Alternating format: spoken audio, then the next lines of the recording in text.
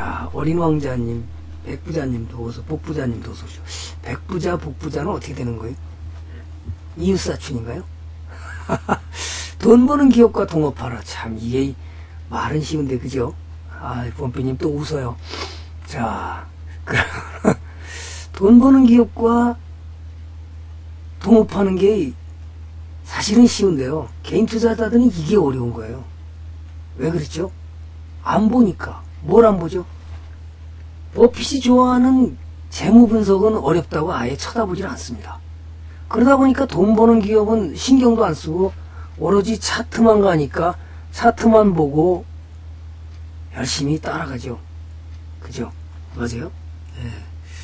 예. 그게 이제 좀 잘못되는 투자인데 오늘은 돈 버는 기업과 동업했을 때 어떤 일이 벌어지는지 자 자세한 건 참 오늘 어떻게 되는지 한번 보겠습니다. 코스피가 어제 뭐 또 부담감 때문에 못 갔죠. 오늘 또 미국도 장이 또 조정됐다고 우리도 장이 좀 조정하나요? 예, 뭐 그거 그럴래니 하고 시장은 늘 이렇게 조정하고 가는 겁니다. 오늘도 찔뻑하고 내일도 또 내려가고 이게 뭐 뭐죠? 파도의 민물과 썰물이라 생각하면 아주 쉬워요. 시장은 늘 나렇게 흔들고 가더라.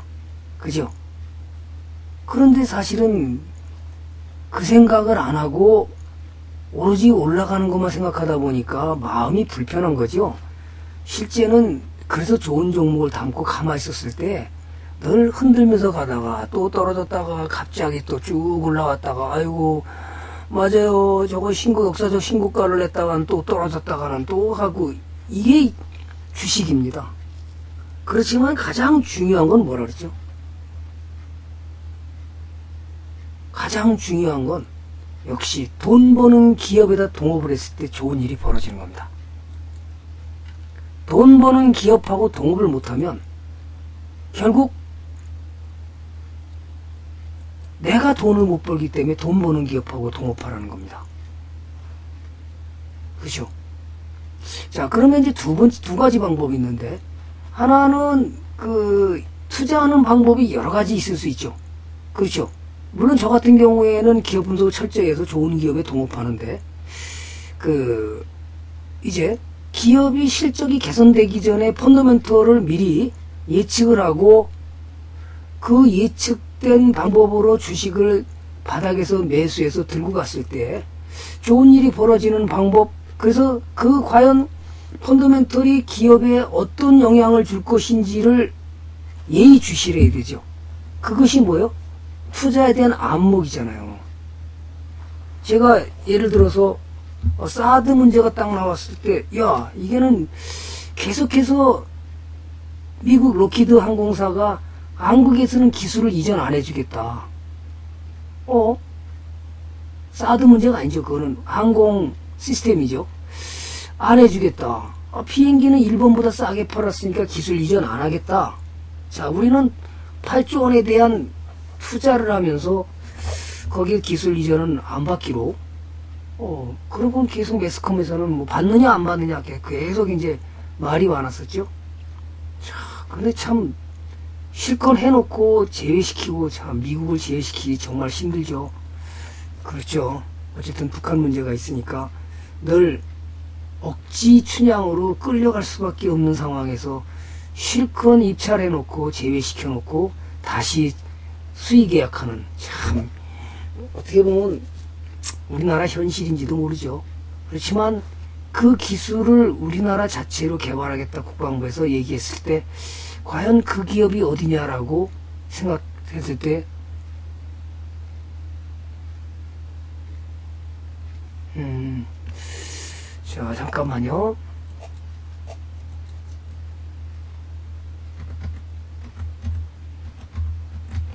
네. 자, 그러면 그 다음에 어 그렇게 해서 우리가 LIG 넥스원하고 기술력이 있는 게 대한민국의 하나테크인입니다. 그래서 우리는 하나테크인이 확정됐다는 소리 들었을 때 우리는 아 야, 떨어지든 말든 우리는 저기서 동업해보자. 근데 실적까지 좋게 나오면서 같이 가버리죠. 그럼 뭐 신나서 우리는 사는 거죠 뭐. 그렇게 사놓고 가만히 있으니까 수익은 30% 이상 벌써 올라와서 가만히 들고 가는 거예요. 이것이 뭐죠? 어떤 뉴스가 나왔을 때 그거를 보고 충분히 해석을 하고 기업에 어떤 영향을 줄 것인지 정부 정책도 똑같습니다. 그것이 투자에 대한 안목이고 펀더멘털입니다. 어제 보여줬던 종목 중에 하나가 예, 어떤 종목을 보여줬냐면 제가 코롱인더 우선주를 보여줬습니다. 많이 올라갔죠. 내고 올라가죠.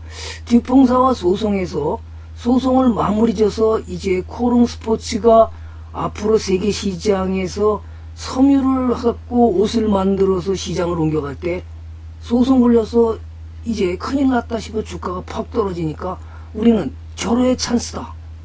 근데 갑자기 또 뉴스가 뭐라고 뜨냐 하면 합의를 했다. 그 손해배상을 125억인가 127억을 주고 이미 합의해서 날개를 달았다? 그럼 우리는 사자. 그래서 사서 올라간 종목이 코롱 인도입니다. 기업을 보니까 돈을 잘 벌어요. 그럼 우리는 맞짱 뜨자. 그죠? 그것이 코롱 인도 이렇게 산 겁니다. 또 신고가 냈네요. 네, 수영장님 어서 오세요. 어우, 이게 어디까지 가는 거지 저도 모릅니다. 실적은 개선되고 시장이 폭, 폭락하거나 말거나 우리는 알 수 없습니다. 그렇지만 돈을 잘 버는 기업에 동업하니까 이런 일이 벌어지는 거예요. 그게 돈 버는 기업에 동업하라 그래도 사람들은 짜릿한 수익에 오로지 뭐죠? 예, 급등주를 좋아하지 이렇게 천천히 가는 건 싫어합니다. 이렇게 퍽 파져갖고 아 이제 소송 걸려서 이제 끝났어 끝났어. 끝났어? 그럼 우리는 매수가 다 뭐지 뭐. 그게 투자의 안목이죠. 그런 걸 유료 방송에서 아 어떻게 보는 건지. 그렇죠? 이걸 보고서 우리는 아니 뭐 이래, 이래 도 됩니까?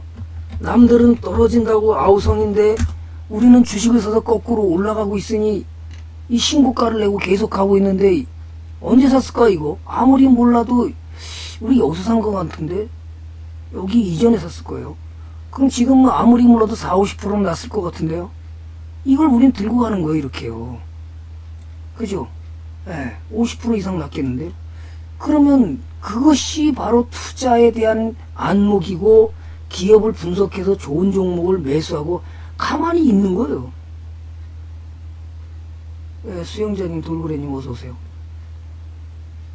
그런데 그런 거는 해석은 안 하고 자 그럼 어떤 해석이 나왔을 때 그걸 어떻게 해석하시냐 하는 거는 본인에 달려 있는 거예요. 그럼 그런 투자의 지혜를 자꾸만 생기게 만드는 건 뭐죠? 그죠? 꾸준히 내가 노력해야 되잖아요. 맞아요? 책도 읽고 전문가의 어떤 강의를 할 때, 아, 그렇구나. 저기서 어떤 지혜가 얻을 수 있겠구나. 야, 저럴 때는 우리는 해석을 어떻게 해야 되지? 더 좋은 측면으로 해석하면, 야, 이게 돈이 돼, 돈이 보이는데 기업이 좋아질 생겨. 기업이 좋아지고 나빠지고의 핵심은 어디 있죠? 돈을 버느냐 못 버느냐 거기 차 있는 거예요. 돈을 벌 가능성이 높다 그러면 우리는 리스크를 걸어보는 거잖아요. 자, 우리 유리원들 많이 오시겠네요. 자, 그런 게 중요한 건 그렇게 매수해서 들고 갔을 때 이런 좋은 일이 생기면서 아, 시장이 폭락하거나 말거나 나는 몰라. 그냥 주식 사놓고 가만히 있는 거야. 그럼 그냥 들고 가는 겁니다. 그러니까 진짜로 이게 좋은 일이 벌어졌죠. 본주 우선주 다 샀습니다. 우리 유료원들은. 지금 많이 올라서 따라가서 사려는 얘기 아닙니다. 이런 걸 보여주면 어떤 분은 그냥 쫓아가서 삽니다. 다치는 겁니다. 유료 회원들은 그 이렇게 해서 사놓고 마찬가지로 제가 작년에도 12월 달에 기업의 쌀을 사라고 제가 악쓴 종목이 이겁니다. 그래서 충분히 좋으니까 그랬더니 어느 분이 친절하게도 기업의 쌀을 모르겠습니다. 무슨 말인지 아유 80학년 이상은 모릅니다. 그 이하 사람들은 알 가능성이 높습니다. 그랬더니 어느 분 친절하게 종목까지 아주 채팅창에 써주더라고요. 그분은 샀는지 안 샀는지 저는 모릅니다. 근데 지금 어떻게 됐어요? 반도체가 그냥 전부 다 그냥 모두 모두 다 함께 차차차로 무진장 올라갔죠. 많이 난 사람은 150%가 났고요. 적게 난 사람이 130%, 늦게 산 사람은 30%더라고요. 여기 와서 이제 산 사람은 30% 났더라고요. 우리 호두마을님 여기서 샀으니까 이거 20% 났나 이제? 알려줬을 때 채팅창에도 알려주고 다음 카페에도 무료 종목으로 올렸을 때도 아무도 쳐다보지 않았죠. 그죠? 근데 한 40명이 그 리플 달아놓고 나는 5%만 담겠습니다. 5%만 담았더니 이런 좋은 일이 생겼네요. 감사합니다. 이런 사람이 있고요. 보기만한님하고 절대수님도 어서오세요. 자, 이런 것이 뭐예요? 미리 업종 사이클이 가는 거를 선점해서 매수하고 들고 가니까 역시 수익이 많이 났죠. 그죠? 그랬더니 어느 분이 무료 방송 이걸 채팅창에 보고요. 제가 슬쩍슬쩍 보여주면요. 막 주워 담아요. 어, 진짜로 그랬어요. 어, 얘 봐요. 오늘 신고가 또 냈네, 얘도. 어, 이거, 아니, 미쳐서 가면 이거 어떻게 되는 거예요? 이것이 투자의 눈이잖아요. 그러면 템플턴 전문가님 질문 하나 있습니다. 아니, 그럼 템플턴 전문가의 종목은 다 갑니까? 절, 다 신고 갑니까? 그건 아니에요. 그건 불가능한 얘기죠.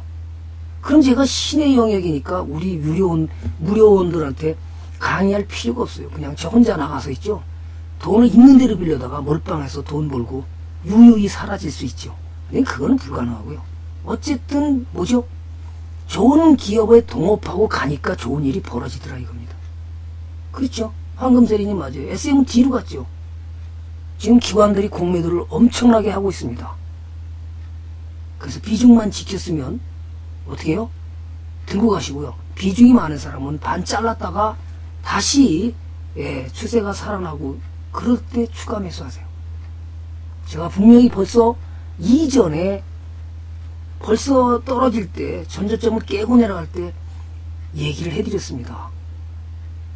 뭐라 그러냐면 추세를 계속 이탈하고 있으니까 반만 잘라라. 못 들으신 분들 있을 거예요.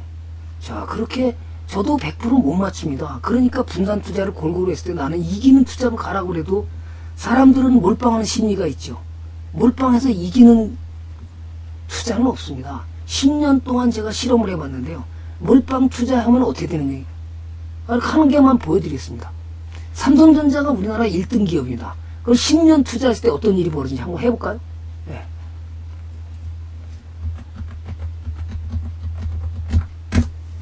삼성전자를 제가 1억을 몰빵하면서 예, 10년을 들고 왔습니다. 10년 전에 어디 벌었을까요? 야, 10년이면 26년, 그 2005년에, 예, 2000, 2006년, 여기서 샀다고 그러면 몇 프로 났을까요? 자, 잘 보세요. 몇 개 종목을 한번 해봐 드릴게. 자, 몰빵 투자하지 말라는 게 바로 이겁니다. 지난번에 잠깐 보여드렸죠. 지금 얼마 수익 났을까요? 삼성전자가. 10년 동안 139%입니다. 그러니 1년에 몇 프로 준 거예요? 1년에 13.9% 10분이 수익 못 준 겁니다. 에게, 그죠? 그럼 LG전자를 샀습니다. 아, 현대모비스를 살게요. 꼭 해볼까요? 현대모비스를 2006년에, 자, 얘는 몇 프로 났나요? 207%입니다. 오우, 삼성전자보다 더 좋잖아. 나 몰빵했으면 1년에 20%씩 수익 준 거네. 10년 동안. 그러면 이번에는 LG전자를 가볼까요?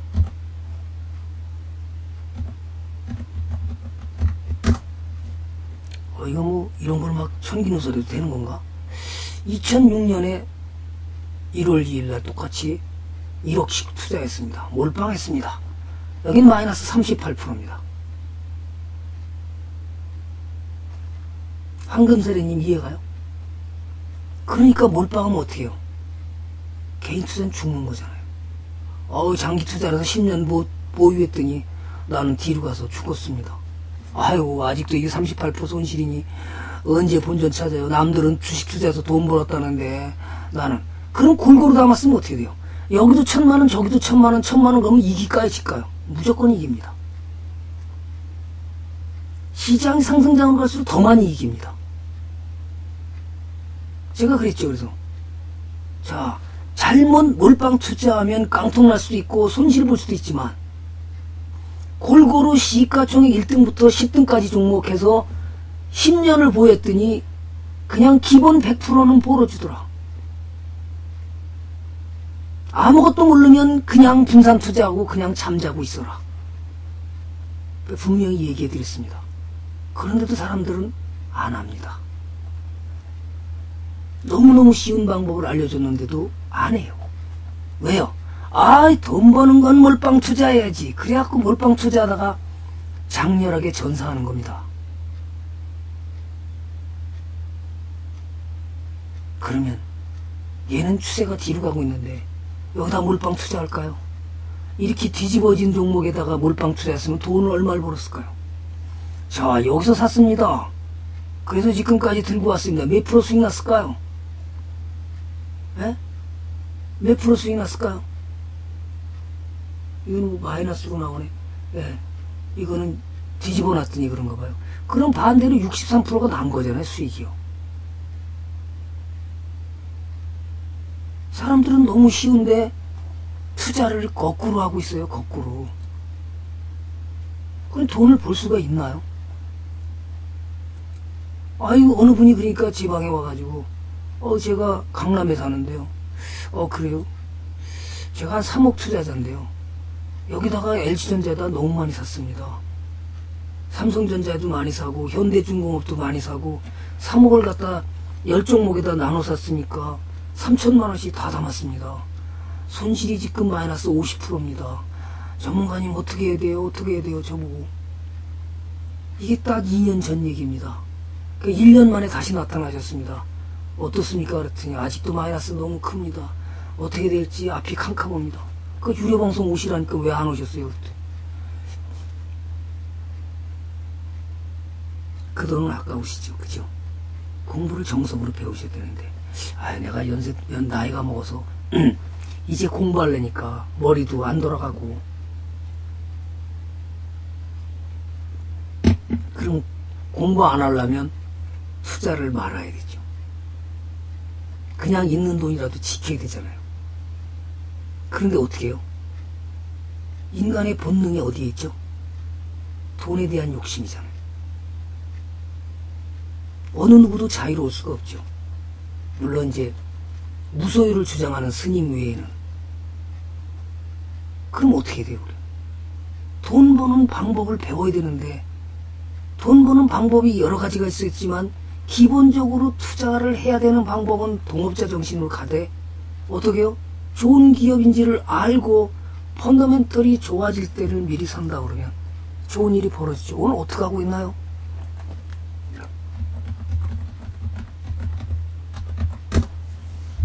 어우, 오늘 떨어졌네요. 어휴, 그냥 갈 줄 알았죠. 그죠? 어, 대한항공. 그냥 갈 줄 알았더니 오늘 시장이 많이 10% 이렇게 되네요. 예, 미국이 조정했으니까. 저는 이미 10% 이렇게 될 줄 알았어요. 참, 제가 이런 얘기하면 우스운 얘기인지 몰랐지만 10%될 거를 벌써 이미 알고 있다. 아, 참 그런 얘기하면 좀 이상하다. 자, 어쨌든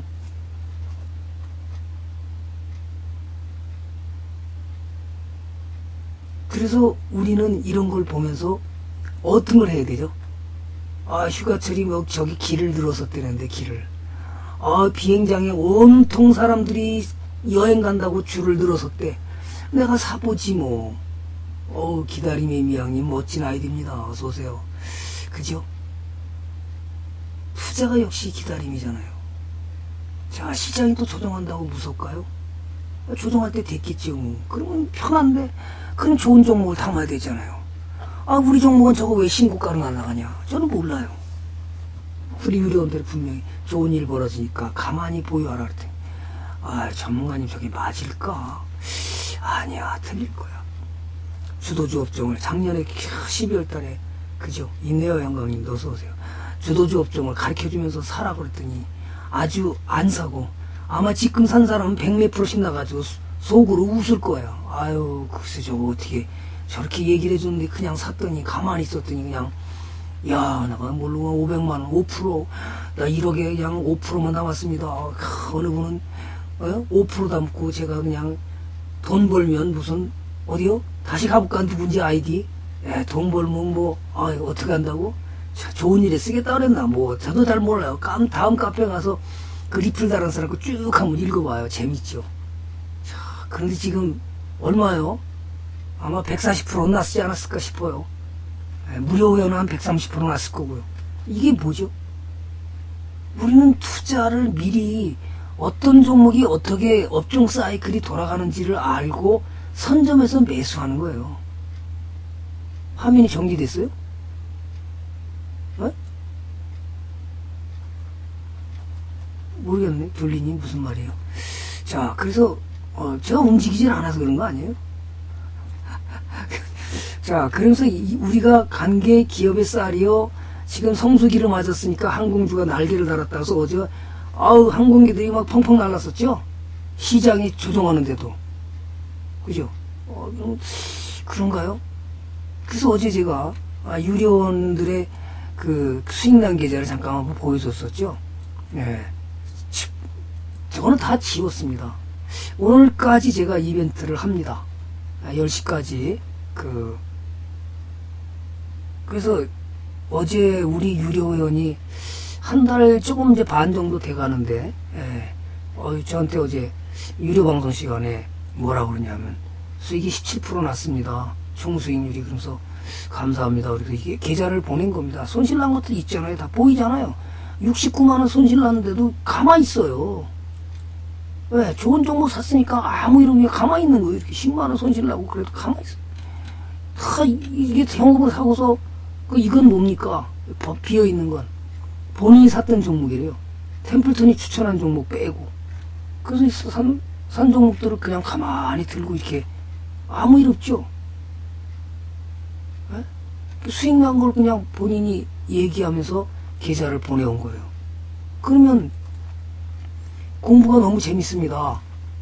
아니 주식 사서 뭐 걱정도 안 하고 맨날 주식 사갖고 들여다보지 않아도 되고 한 달에 한 번씩 봐도 되고 사놓고는 그냥 가만히 있어도 되니까 공부만 하니까 너무 재밌대요. 종목 추천 나가면 내가 업종 사이클에 없는 종목을 하나 사놓고 가만히 있고 아니 뭐 팔 건가요? 팔 일이 없어요. 특별히 악재가 나왔을 때는 팔아요. 내가 보여줘도 됩니다. 우리 종목 아니니까 이제 보여드리겠습니다. 그것이 우리가 샀다가 팔이 SK 케미칼입니다. 음. 솔직히 뭐 보여줘도 괜찮지 뭐 이제는 우리 파는 종목 우리 안 갖고 있으니까 SK 케미칼 우선주를 이때 샀습니다. 이때 사가 여기서 사고 여기서 사고 계속 사가지고 쭉 끌고 올라오다가 아 이게 악재가 나왔잖아요. 가습기 문제로 이거 당장 해결이 안 된다 이거 실적이 좋아져도 아마 오래 갈 수 있으니까 우리는 그냥 여기서 끝내자. 그래서 끝내버린 종목입니다. 그러고는 안 샀습니다. 다시 좋아질지 어쩔지는 모르지만 우리는 여기서 끝내자. 또 한 종목이 있는데 예. 또 한 종목은 자회사가 미국에서 실적을 엄청나게 부진하게 만들었습니다. 그러면서 적자가 너무 커져서 음, 팔았습니다.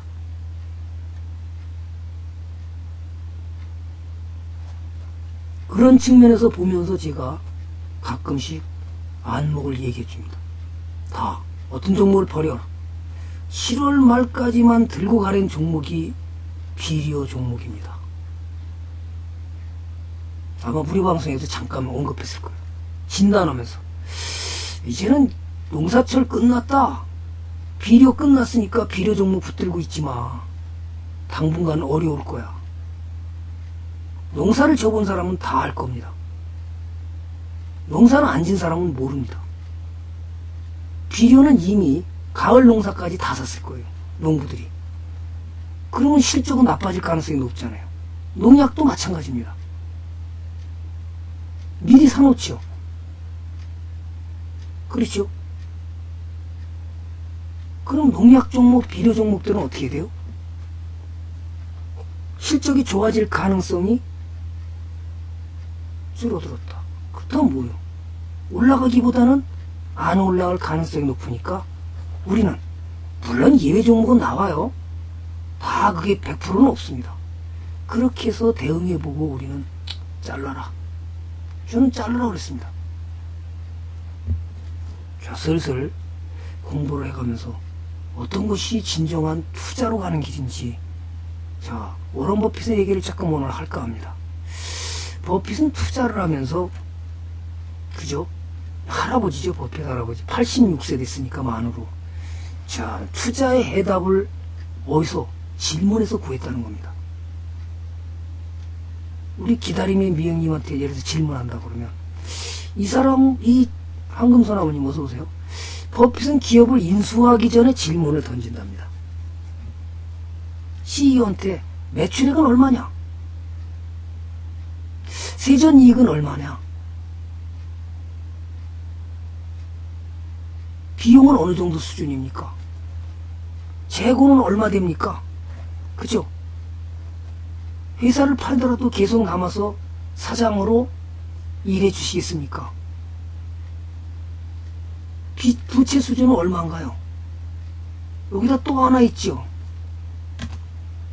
뭐죠?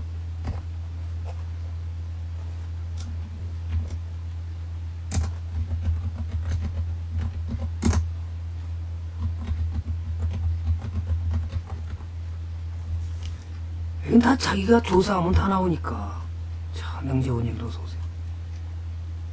이러면서 질문을 하고서, 자, 이거 봐보세요. 회사를 팔더라도 계속 남아서 일해 주시겠습니까? 이렇게 질문했다 그러면, 참, 이 사장이 팔고 나서 일해야 되기 때문에 회사가 숨기고 몰래 나쁜 일을 숨기고 팔 수 있을까요? 불가능하겠죠.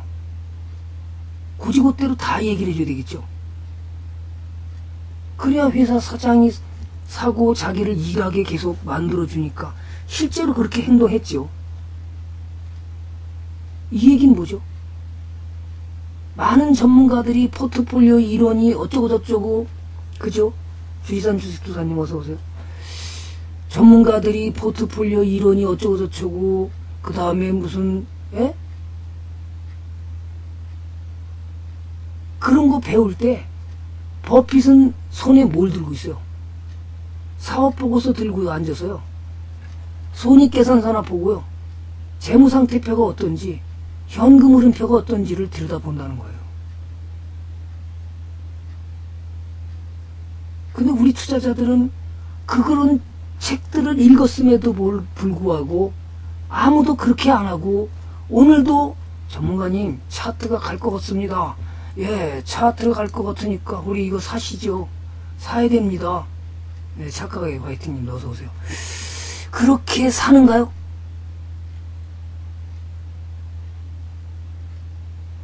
그렇게 안 하는 버핏은 세계 치 둘째 가면 서러운 부자가 됐고 우리는 그렇게 안 하고 오로지 지금도 차트만 보고 상한가 갈 것 같습니다. 아이고 글쎄요 SM이 너무 떨어져서 아픕니다. 음. short covering이 들어올래나 이제 그죠? short covering이 들어올 수 있겠죠. 공매도 무진장했습니다 기관이. 이건 조사해본 바입니다. 우리 유료원들하고 같이 아이고 기관이 공매도를 엄청 쳤구나. 아, 그러니까 아프게 조정하죠. 그런데도 불구하고 좋은 기업들은 역시 산바람을 어서 오세요. 어이구 웬일이세요? 낮에 시간이 나셨나요? 자, 그, 그러니까 산바람님 계좌가 공개됐어요. 네, 네. 우리 수익 많이 나셨다고. 자, 자 그러면 중요한 건 이런 거를 네, 어떻게 해요? 공매도 하는 거를 따라가서 우리가 그러면 쫓아가서 하는 게 아니라 반 자르고 여기서 추세가 이탈할 때 제가 비중 축소하세요. 비중 축소하세요. 왜 그럴까요? 다시 쇼커버링에서 돌아올 때 사도 늦지 않다는 거예요. 그거를 실험한 사람이 누구냐 하면 바로 서울대 컴퓨터공학자인 그 민병기 교수가 실제로 실험을 했습니다. 제가 분명히 무료방송에도 알려줬는데도 사람들은 그런 걸 관심 있게 안 듣죠. 15%까지는 잘라도 좋다. 15%를 넘으면 15%를 넘으면 어떻게 돼요? 차라리 안 자르는 것만 30%가 손실 나면은 안 자르는 게 차라리 낫다. 그죠? 예. 15%까지는 손절하는 게 비중을 축소하거나 손절하는 게 유리한데 30%가 폭락을 해버리면 오히려 올라갈 확률이 62.5%래요. 그러면 이렇게 떨어졌을 때 이제 팔아야 돼요? 이제는 맞짱 떠야죠. 그럼 여기서 제가 전저점 깨고 내려가서 10% 손실입니다. 15% 그럴 때는 반으로 축소해버렸으면 손실이 줄어들잖아요. 그래서 반으로 축소하는 겁니다. 참을 수가 없잖아요. 내가 너무 비중이 많습니다. 그 포스코에서도 이 세상에 반만 잘랐으면 어떻게 됐을까요? 2억을 몰빵했는데 반만 잘랐다가 돌아와서 지금 샀으면 지금은 본전도 찾고 수익으로 돌아갔을 텐데 그걸 2억을 몰빵해놓고 가만히 있으니까 어때요? 반토막 난 다음에 다시 돌아오려니까 아직 본전 가려면 아직도 멀었잖아요. 언제 본전을지 알아요 몰라요. 모른다는 거예요. 그러니까 골고루 담으라는 거예요. 또 자신이 없을 때는. 기업 분석도 안 되는 사람이 그냥 비중은 왕창 사가지고 무진장 사놓으니까 감당돼야 안 돼요? 안 되는 거죠. 내 마음의 그릇은 천만 원입니다. 천만 원 다 잃어도 끄떡 안 합니다. 오케이. 그럼 어떻게요? 내 마음의 비중이 천만 원이잖아요.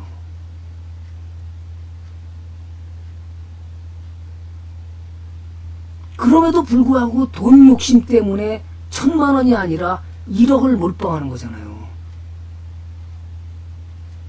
그걸 다 잃어도 내 인생 살아가는데 아무 지장이 없습니다. 그러면 그만큼 담으라는 거예요.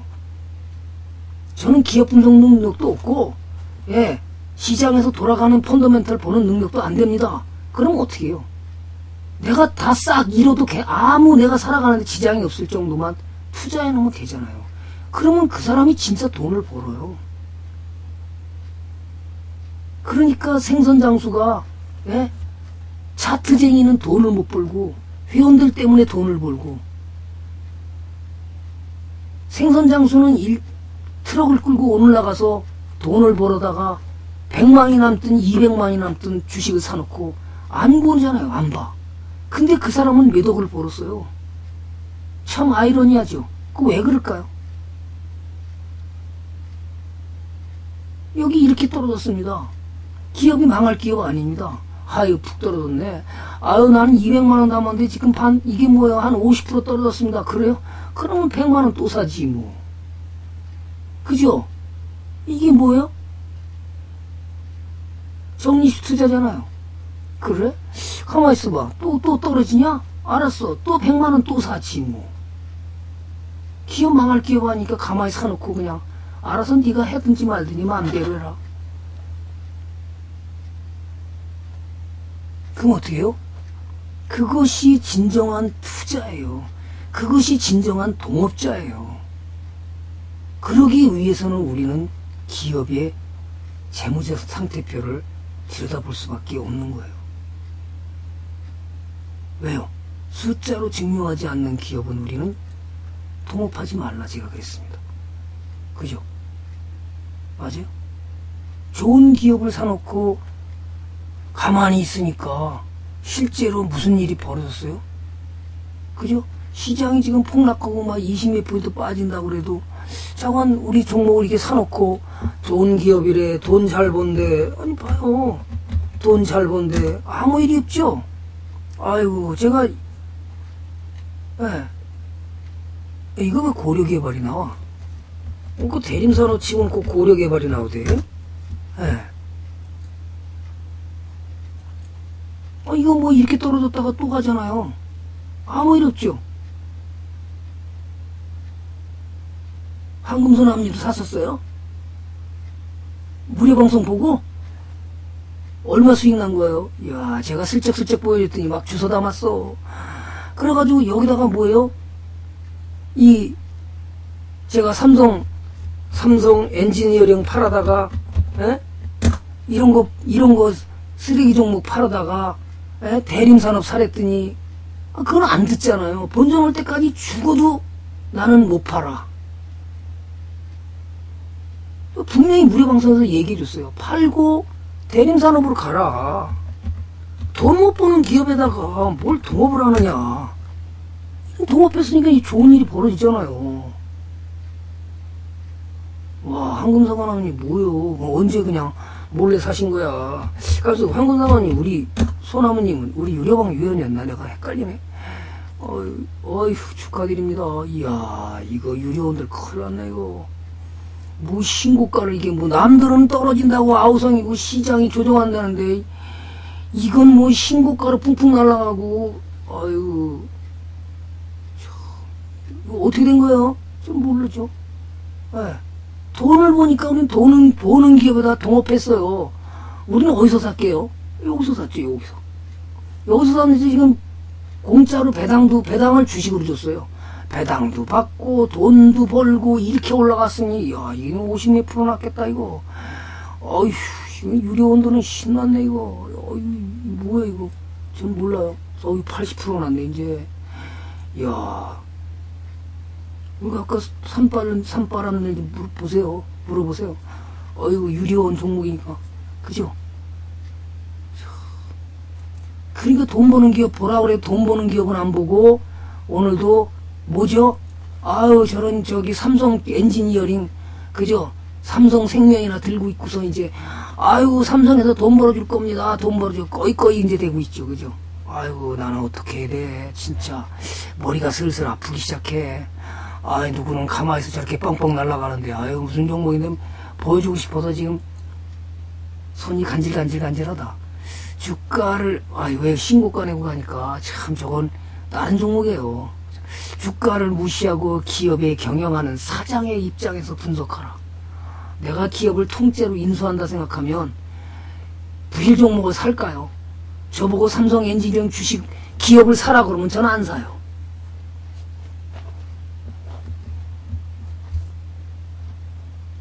그죠? 아, 돈 잘 버는 기업을 뭐, 그보다 돈 적게 줘도 돈 무진장 버는데 뭐요. 어, 이제 동국제약은 어떻게 됐나 한번 볼까요? 자, 동국제약을 한번, 어, 이게 그, 지난번에 어떤 분은 사가지고 이제 떨어졌네? 그렇다고 이팔 거예요? 얘, 얘가 뭐요? 10년 전, 지금, 지금까지, 이건 뭐, 이 돈이, 돈이, 돈이 얼마야? 저는 모릅니다. 돈이 이게 얼마야? 그죠? 그 좋은 종목들을 사고 회사 입장에서 보면 회사 입장에서 보면 우리는 쉽게 보이는 겁니다. 그런데 주가를 보면 안 보입니다. 무슨 말이냐? 경영자 입장에서 내가 회사를 인수한다고 생각하고 주식을 보면 당연히 좋은 기업에 동업을 할 수밖에 없잖아요. 그렇죠? 그런데 그걸 빼버리고 나는 주가만 오로지 보겠다. 야, 올라가고 또 보겠다고는 기업이 보이나요? 기업이 안 보이죠. 돈 잘 버는 기업에 관심이 있어요, 없어요? 관심 없습니다. 오로지 주가만 보게 됩니다. 그러니까 그 사람은 동업할 자격이 안 되는 거고, 착실하게 돈을 벌 수가 없다는 거잖아요.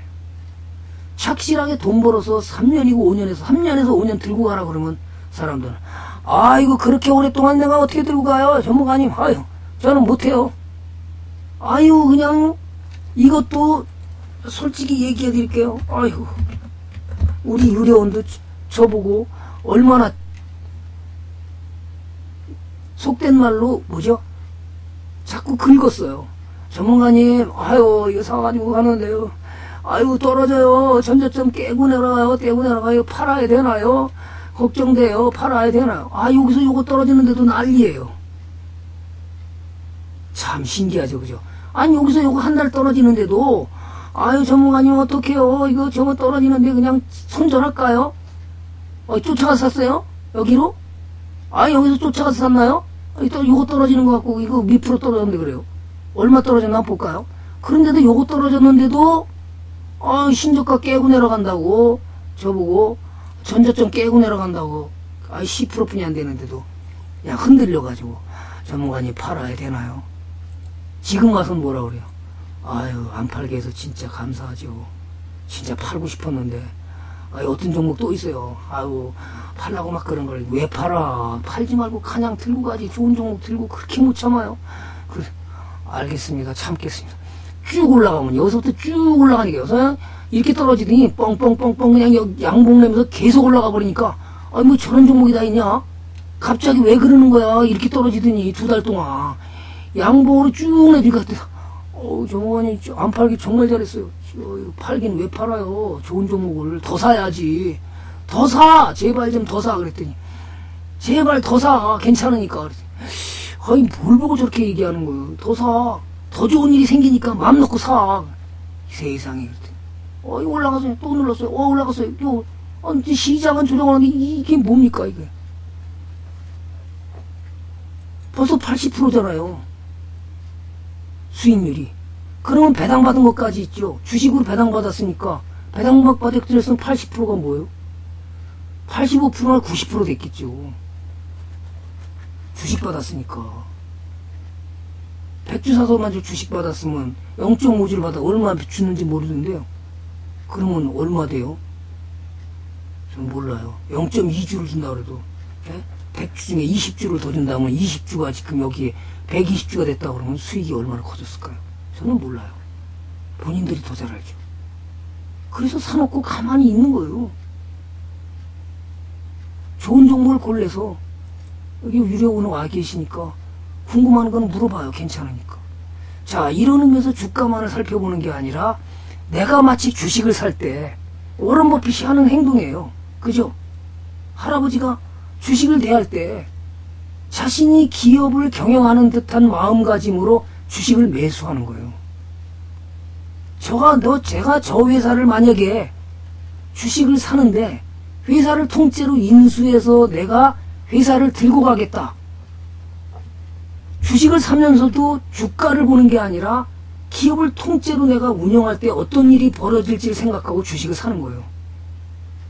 그러니까 뭘 먼저 봐요? 제일 먼저 보니까 사업가에게 어떤 회사를 사들이라고 할 때 사업가가 어떤 행동을 할까요?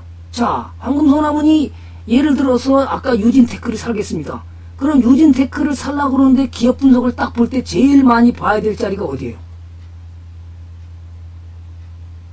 야, 이거 천기누 소리인데 어디를 봐야 돼요? 아, 저는 그런 거 분석할 줄 모릅니다.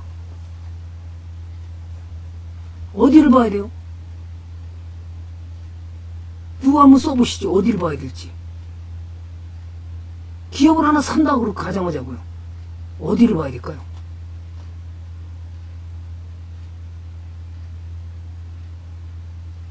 실적이요. 재무제료요. 부채보다 현금이 많은지.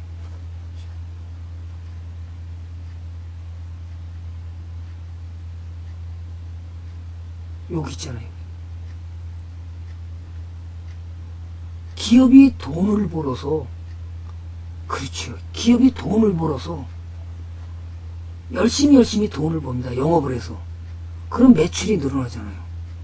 그러면 이것저것 공제하고 아이고 임대료도 내야 되고 그 다음에 공장 물건값도 내야 되고 이런 거 다 내고 남아서 뭐가 많아요? 돈을 많이 벌어왔습니다. 우리 기업은 현금이 계속 들어옵니다. 돈이 잘 들어오는지 아니 열심히 사업을 했는데 빚 갚고 뭐하고 월 뭐지 원가 내고 이게 다 내고 나니까 나는 마이너스야. 그럼 그 기업을 살까요? 다 공제하고도 돈이 철철 넘치게 버는 기업을 살까요? 철철 넘치는 버는 기업을 사는 거잖아요. 내가 사업가라면 버핏은 이걸 굉장히 좋아하는 겁니다. 당연히 그렇죠. 그러니까 당연히 부채가 없는 기업을 좋아할 수밖에 없는 거고요. 부채가 없으니까 이자 감당 안 해도 되고요. 부채가 없으니까 현금이 그냥 버는 대로 뭐죠. 아이고 저거 뭐야 팔고 재고만 안 쌓이면 그냥 주는 대로 그냥 돈이 들어와서 그냥 내 계좌에 돈이 막 쌓이기 시작합니다. 아 그럼 그 기업을 사야지. 돈도 못 버는 기업에다 동업해놓고선 좋다고 그냥 아유 차트가 갈 겁니다. 우리는 장기 투자기 때문에 안 해요. 더 기업 분석을 해보면 저 돈을 왜 이렇게 잘 버냐? 아무리 봐도 나는 야 돈을 뭐, 이렇게 이렇게 돈을 잘 버니까 그냥 그냥 계속 하는 거잖아요. 계속 주가가 미쳤나봐. 이거 왜 이렇게 가는 거예요? 돈 잘 버는 기업이니까 그런 거잖아요. 돈을 못 벌면 이 가겠어요?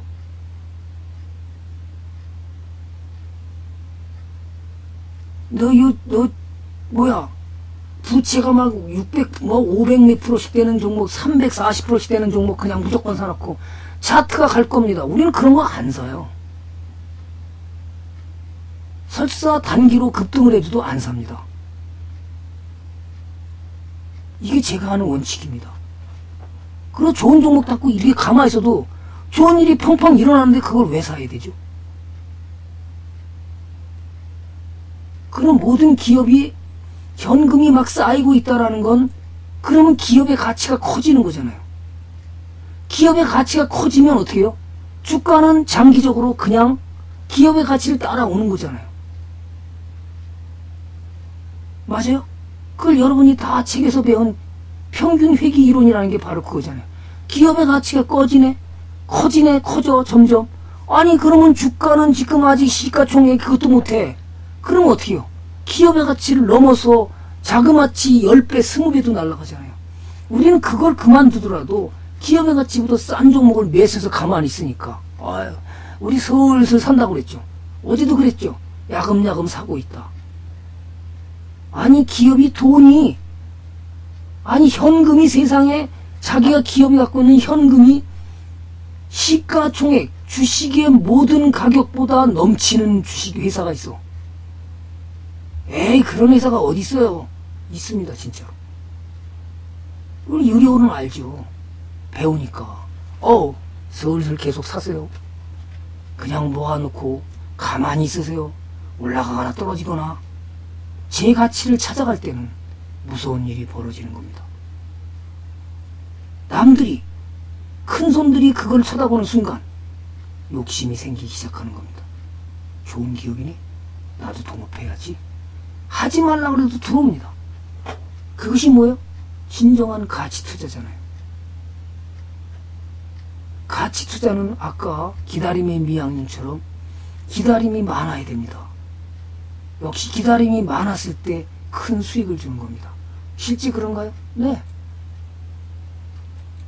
그래서 지난번에 얘기해드린 아유 오늘도 뒤에는 잘 안 빠져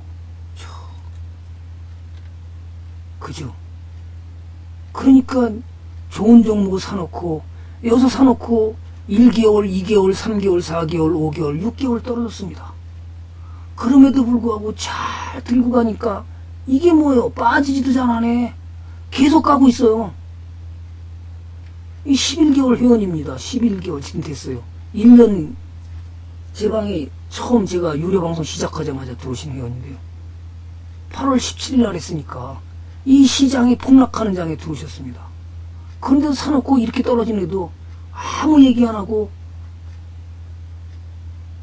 아유 황금손 아버님 참 그죠? 참, SK 머티리얼즈도 어떻게 해요? 신고가로 날라가죠. 얘도 어제 신고가 냈죠. 난리 났죠 뭐. 대장 반도체가 주도주로 간다는데 나는 없어 SK 머티리얼즈는 오늘 어떻게 해요? 아이고 참. 이봐요. 빠지지도 않고 가요. 신고가로 그냥 계속. 에? 그냥 몰래 몰래 샀어도. 그죠? 무료 방송 와서 몰래 몰래 주웠어도 지금 돈 많이 벌었어. 저도 못 먹어. 그죠? 그리고 아직도 짜릿한 핫택이나 이런 거 사고 뭐 중국 원양자원 이런 거 사서 상한가 간다고 여기 가서 매달려요? 에? 관리 종목으로 넘어가서 중국 원양자원. 아유, 왜 안 나와? 어? 어? 영어로 돼 있나? 아유, 그렇군요. 중국. 왜? 관리 종목. 아, 상 나왔대, 상. 어, 황금선 어머님, 이야, 멋지신다. 어떻게 그걸 주워 담으셨어요? 축하드립니다. 야 참, 대단하십니다. 우리 저기 200만원짜리가 있었습니다. 지난번에 계좌 보여줬잖아요. 네, 파이님 환영합니다. 감사합니다. 아, 이거 그분 거예요, 진짜. 400만원 분이 없었어요. 보여드릴게요, 진짜. 와. 이분이요. 예. 돈이 400, 400만원 분이 없어서 200만원 유료 방송 들어와서 가입했잖아요. 아, 돈도 없는데 뭐라 왔어요? 그랬더니. 아, 공, 공부가 우선이래요. 아, 공부를 해야 되겠다 싶, 생, 생, 뭐 싶은 생각이 드니까 아무것도 생각이 안 들더래요. 그냥 무조건 들어왔대요. 그래서 4개월을 공부하고 나가셨는데, 아, 그러더니 그동안에 월급 타면 친구들하고 매일 만나서 그냥 심심하면 외식도 하고 막 술도 마시고 그랬는데 지금은 친구 만나는 걸 거의 다 끊어버렸대요. 바쁘다 그런 핑계를 대고서 아, 그리고 그냥 돈을 200만 원 걷고 유료 방송에서 종목들을 꾸준히 그냥 18주도 사고, 4주도 사고, 2주 사고, 7주도 사고 이런 거예요, 이분이요. 에? 이렇게 해서요. 그럼 봐봐요. 재밌죠? 마이너스도 있고, 뭐 플러스도 있고, 어떤 거는 뭐 27% 나오고, 17% 나오고, 16%도 나오고, 예? 다 다양하죠? 24%도 나오고, 15%도 나오고, 20%. 그냥 돈이 없으니까, 이렇게 해서 담은 거예요. 골고루. 그래서 자기가 몰래도 이제 해봤대요. 네, 어서오세요. 몰래 이제 뭘 해봤냐 하면, 주식을 사가지고, 기업 분석 배울 방법을 배웠으니까, 몰래 사서 팔아보기도 해보고 사보기도 했대요. 그래서 좀 까먹기도 했대요. 그래도 지금 700만원 됐다고. 아유, 너무 감사합니다. 공부를 제대로 배웠다 그 얘기입니다. 그래서, 아, 참. 그래서 친구들을 안 만나니까 거기서 세이브가 되더래요. 돈이. 그러니까 뭐 거다 돈 어디다 가요? 그냥 주식 사는데 그냥 올인하고 저녁에는 그럼 뭐요? 공부하느라 이 주식 공부가 그렇게 재밌다는 거예요. 앞으로 이제 희망이 보이더라는 거예요. 어 그래 좋은 정보에 담으면 아무 일이 없구나. 이상하게 주가가 올라오면 개인들은 도망치더라. 자기는 그래서 그걸 보고서 이야 참 왜 돈을 벌어주는데 도망가지? 그래서 공부 진짜 집에서 열심히 하면 되잖아요. 그럼 이제는 앞이 보이잖아요, 희망이. 아니, 은행 갖다 놓아봤자 700만원 갖다 놓으면 이자 몇 푼 줘요? 돈 생기지도 않아요. 지금 1.5%도 안 나오잖아요. 적금 도 봐야. 그죠? 예금 넣어봤자 1.5%도 안 나오는데. 좋은 주식에다 그냥 동업하니까, 아까 봐봐. 유, 유진테크 날아가는 거 봐요. 에? 아, 이런 거 날아가는데, 이, 이게 샀으니, 아까 우리 좀 뭐야? 아까 황금소나무님 봐봐요. 공짜 종목으로 이거 사고 신고가 나는 게. 아니, 주식 시장이 폭락하는데 얘는 왜 신고가 내고 가는 거야? 저, 그냥, 보여주니까 그냥 사봤대잖아요. 100만원 들고. 저, 애경유아도 샀대요. 이거 봐요. 안 빠지고 이렇게 거 있는 거 봐. 아, 우리 종목은 봐. 이 신고가 내고 하잖아. 이거, 어, 이거 얼마죠? 신고가. 아, 돈 막 벌어주네, 그냥. 그러니까, 그분이 주식이 너무너무 재밌다는 거예요. 이제는. 좋은 종목 사놓고 가만히 있으니까 그냥 세상에 떨어지든 말든 뭐 상한가 가거나 말거나 난 그런 거 몰라. 그냥 좋은 종목 사놓고 가만히 있는 거예요, 그냥. 떨어지든 말든 그게 뭐요? 동업이잖아요. 제대로 배우고 제대로 갑니다. 저 잘하고 있는 건가요? 와, 너무 잘하고 있죠. 앞으로 부자 되겠네요, 그랬더니. 예, 너무 감사합니다. 편지까지 장구하게 쭉 썼어요. 편지는 공개 안 했어요. 편지도 그냥 자기가 처음 써본대요. 왜요? 주식 배운 지도 처음이고요. 제가 처음이래요. 저는 행운합니다. 본인은 그렇게 얘기하는 거예요. 단타방에 안 갔기는 말이 정말 자기는 단타방에 안 가고 제대로 배우고 나갈 수 있어서 행운합니다. 그렇게 하고 나가신 분이에요. 4개월 동안 공부하고 다시 또 여유가 되면 오겠습니다. 편지를 장구하게 쭉 썼어요. 내 생에 태어나서 처음 편지를 써봅니다. 다 이게 제가 저장을 해놨습니다.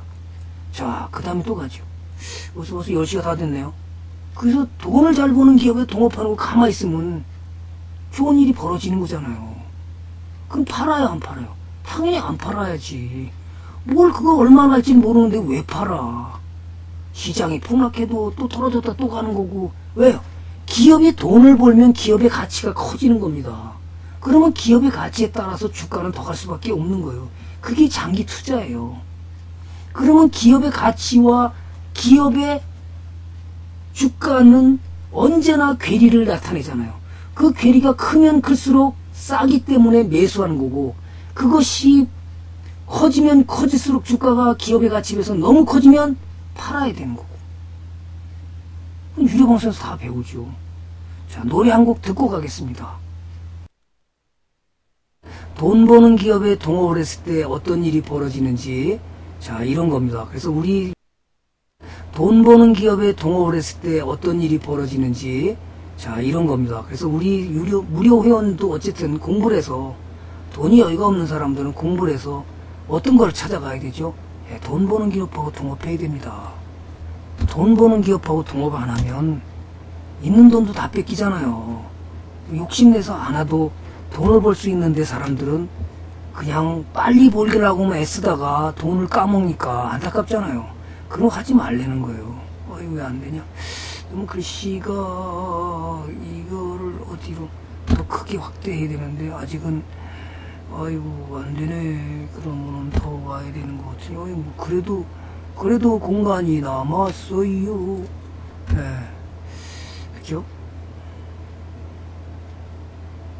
네, 즐겁게 살자니 감사합니다. 그래서 성공 투자의 척경은 지름길을 찾는 데 있는 게 아니에요. 사람들은 지름길을 찾기 위해서 오늘도 무슨 일을 하냐 하면 짜릿한 상한가를 가는지도 몰라요. 왜요? 그게 바로 지름길을 찾는 거잖아요. 빨리 돈 벌라고 지름길을 찾으려고 가다가 결국은 돈을 버는 게 아니라 있는 돈도 다 까먹어요. 그 좋은 기업에 동업하는 게 바로 그런 거예요. 지름길을 찾은 사람이 아니잖아요. 6개월 동안 가만히, 어떤 거는 9개월을 참았어요. 9개월 동안 아무 일도 안 하고 그냥 주가도 안 가는데도 우리 유료원 참은 거예요. 제가 1년 템플턴 전문가하고 1년 가입을 했으니까 한 번. 그 여섯 분이 있거든요. 어떤 분은 직장 다니라 잘 나오시지도 못해요. 그냥 믿고 그냥 가만히 있어요. 그 녹화방송은 보십니까? 녹화방송은 보시는데 시간이 안 되니까. 그러면 그냥 가만히 있는 거예요. 떨어지든 말든 팔라는 소리도 안 하니까 진짜 팔라는 소리 문자가 나가죠. 그건 팔라는 소리가 별로 없어요. 그럴 수밖에 없잖아요. 동업자 정신이니까 뭘 팔아요? 팔기는 뭘 팔아요? 30%가 떨어져도 그냥 들고 있는데. 부실한 기업을 안 잡잖아요, 거의. 꼭 잡아야 될 때는 펀더멘털이 좋아질 걸 대비해서 사는 거 외에는 안 사요. 그냥 좋은 기업을 담고 있으니까 그냥 마음 편안하게 들고 가서 아무 일도 없습니다. 그냥 떨어지든 말든 세상 편합니다. 여기 유료원들한테 물어보세요. 한번. 참. 그전에는 우리 유료원이 그러잖아요. 아니 그냥 하루에 한 번씩 스마트폰을 현재가를 쳐보지 않으면 불안해서 살 수가 없었대요. 근데 지금은 현재가를 안 친다는 거예요. 왜요? 좋은 정보 사놨으니까 어 이게 무진장 올라갔던데 어제는 어떻게 됐나 몰라요. 오늘 어떻게 됐나 몰라요. 오늘 조정했네요. 와 신고가네. 지난번에 봤잖아요. 150 몇 프로 수익 났는데 이 더 올라갔어요. 여기서 보여줬으니까 더 올라갔어요. 안 팔고 그냥 있단 말이에요. 이렇게 폭포수처럼 썰어지는데도요. 이걸 참을 수 있어요? 이렇게 폭포수처럼 개파라고 나간데도 이 사람이 안 팔았단 말이에요. 왜요? 팔지 말라고 그러니까. 템플턴 전문가가 그냥 팔지 말라고 그러니까 그냥 아유 맞짱 뜰까요? 어, 맞짱 뜨세요. 괜찮으니까. 아 그래도 이게 뭡니까 이게. 순식간에 수익이 얼마 준 거예요 이거. 그러니까 이걸 올라가서 이걸 안 잘라먹고 개파라긴 한데도 그냥 버티고 있었던 거예요. 아유, 무섭습니다. 그러니까 이제는 참 잘 인내하면 되는데, 그걸 인내를 못해서 그냥 제가 많이 놓쳤습니다. 잘 참아야 되는데, 참지를 못하니까요. 네. 그거 다 들고 있어요. 유진테크도 그냥 들고 있어요. 지난번에 유진테크도 보여줬죠. 수익이 얼마요? 30몇 프로인데 지금 뭐요? 엄청 올라갔잖아요. 그냥 신고가로 날아가면서 가는데 아유, 나는 뭡니까? 주가를, 아이고. 자, 그래서 투자라는 그런 돈을 지름길을 찾는 게 아니라, 투자는 오늘 내일 끝낼 수 있는 것도 아니잖아요.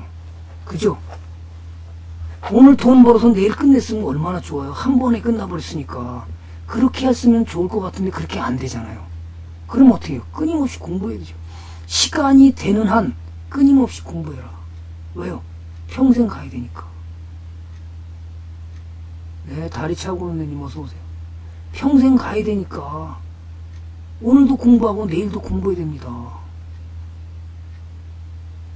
제가 그런 얘기를 했죠. 우리 누구죠? 에릭지님 보고 앞으로 30년은 70년은 더 해야 되는데 공부 안 하실래요? 그러니까 가만히 이게 사실은요 이 종목은 제가 2014년에 2014년에 제가 6만 2천 원대 준 종목입니다 이게 그때는 SK 모티리얼즈가 아니라 OCI 모티리얼즈였습니다 6만 2천 원 여기서 제가 사봐라 좋은 일 벌어진다 6만 2천 원 이겨서 예. 그죠? 여기서 주면서 사봐라 2014년에 제가 뭐를 했냐면 그 방송만 틀어놓고 스승님 방송 틀어주고 무료 서비스를 해줬습니다 맞아요? 그 매일 여기 채팅창에서 공짜 종목도 주고요 이것도 공짜 종목으로 준 종목이에요 동부아지도 그때 준 종목이에요 나중에 무료 방송할 때도 또 줬지만 그 전에 이미 얘도 그렇고요. 그 14만원까지 갔었어요. 근데 이게 뭐에 떨어지다가 또 갔어요. 신고가 냈어요, 이제. 그 이걸 추천하는 걸 보고 우리 아까 뭐죠? 황금소나무님은 그냥 100만원 담았대요. 그 수익이 잘 나고 있다고 감사하다고. 오늘 신고가 냈네 또. 아, 이거 왜 신고가 내고 가는 거예요?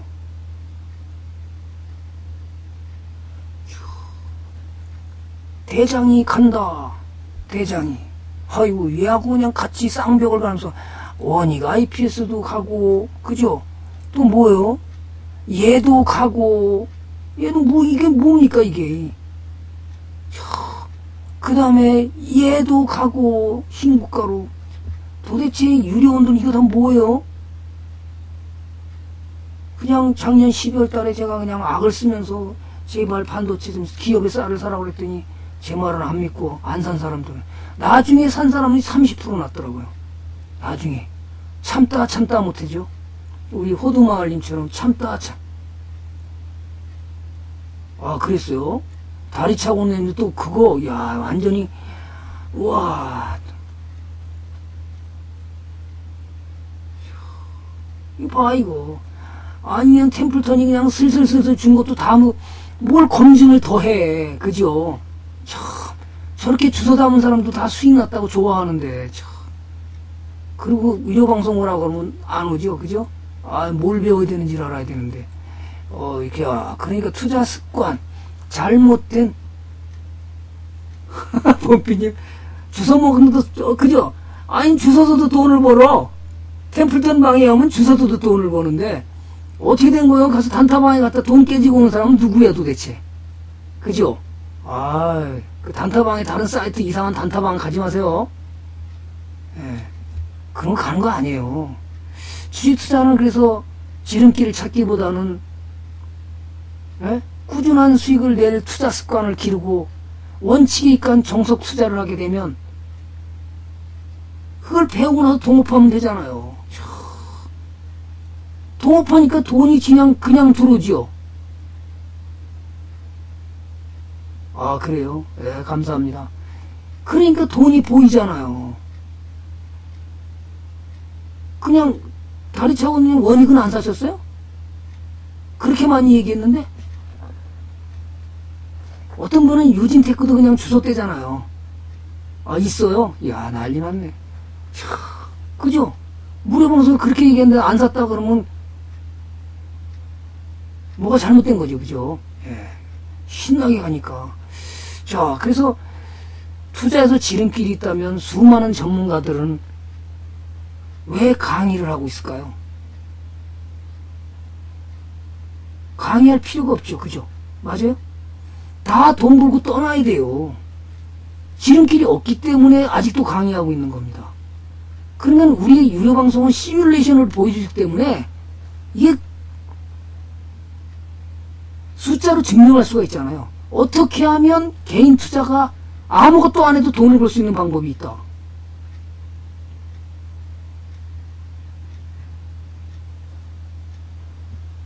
그 시뮬레이션으로 유료원은 멋모르고 제 방에 들어왔다가 딱 보고 나는 순간요. 기절 초풍합니다. 아니 뭐 저런 일이 다 있어요? 우리 유료원 들어오신 분이 깜짝 놀래요. 자료 보고 나면. 와, 그럼 나는 여태까지 뭐 한 거요? 쫓아다니기만 했지. 돈도 못 벌고. 여기 전문가 저, 아니, 우리, 우리 방에는요. 전문가만 35명을 거친 사람이 있어요.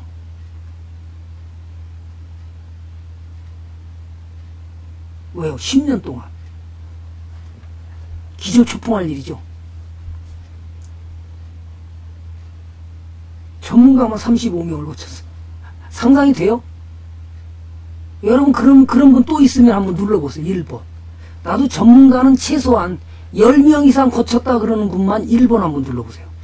아, 숫자를 써봐도 좋고요. 오면 이치님도, 와, 그럼 돈 많이 까먹겠네. 한번 눌러보시죠. 서른다섯 명을 거쳤어요. 심한 경우는요, 5천 원도, 5천만 원도 맡겨보고요. 어떤 분한테는 3천만 원도 맡겨서 1인 매매도 해보신 분이에요. 제 방에 지금 계십니다. 4개월 공부 끝내고 연장했었어요.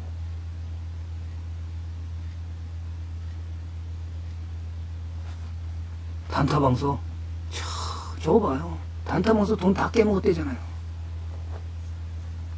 이분도요, 돈 많이 깨먹었어요. 그래갖고요, 한 종목에다 몰빵하는 것만 배우신 거예요.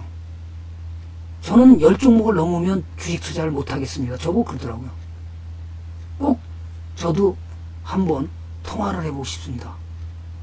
그 지방에 와서 시뮬레이션을 걸딱 보더니 자기 생각이 완전히 틀렸다는 걸 알고 지금은 잘 담아놓고 가만히 계십니다. 떨어지건 말고 그냥 가만히 계세요. 그랬더니. 예.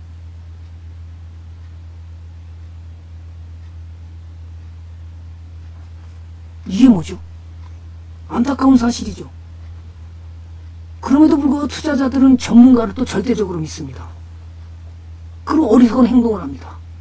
2만원 간다고 몰빵했다가 얼른 팔고 나온 종목이 그게 뭐더라?